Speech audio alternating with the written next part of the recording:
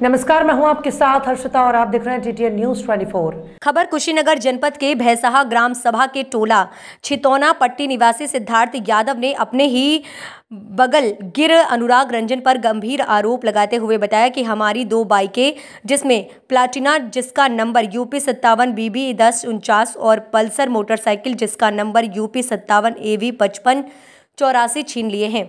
तथा दोनों गाड़ियों को बेचने की फिराक में हैं, तथा दोनों गाड़ियों से अवैध कार्य होने की प्रबल संभावना है।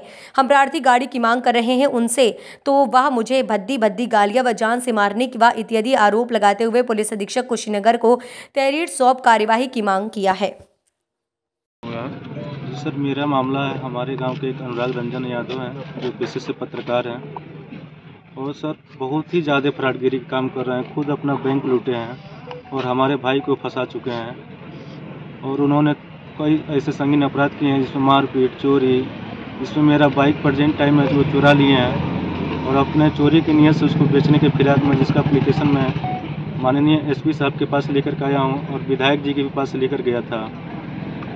और न- आ, कल हम एसओ साहब को भी दिए हैं उनका अप्लीकेशन ये सर बिल्कुल दबंग किस्म के आदमी है बिल्कुल बाइक चोरी कितने दिन पहले हुई थी?